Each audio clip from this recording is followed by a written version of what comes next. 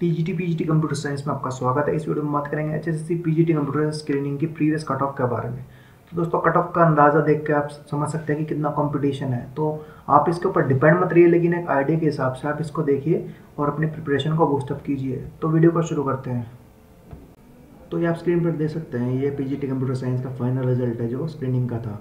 तो इसमें हम पहले बात करते हैं टोटल पोस्ट आपकी चार थी। तो जनरल कैटेगरी की बात करें तो आप स्क्रीन पर देख सकते हैं, ये थी फाइनल कट ऑफ़ थी 126 मार्क्स जनरल कैटेगरी की और एससी कैटेगरी की 100 मार्क्स बीसीए की बात करें तो बीसीए की थी 116 और बीसीबी की 113 और जो बाकी ई ई बी पी जी सी इसकी थी मेल 112 फीमेल 108 और ई एस एम की थी D P eighty and D F F 108 और जो ओ एच की थी 109 तो ये जो हम बात करें, जो रिटर्न एग्ज़ाम उस टाइम का जो था, ये 160 मार्क्स का रिटर्न था।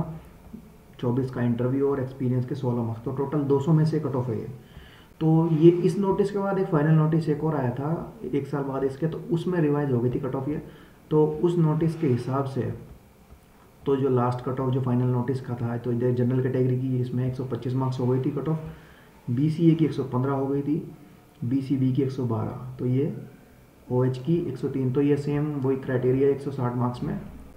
रिटर्न एग्ज़ाम और वाइवा इंटरव्यू आपको चौबीस मार्क्स का था और एक्सपीरियंस थे सोलह मार्क्स तो इस इस हिसाब से टोटल दो सौ मार्क्स पे कट ऑफ़ बनी थी, लेकिन इस बार पैटर्न अलग है। तो इस बार आपके जैसे सिर्फ़ एक नाइन्टी मार्क्स का पेपर है और दस मार्क्स आपके सोशो इकोनॉमिक क्राइटेरिया के हैं।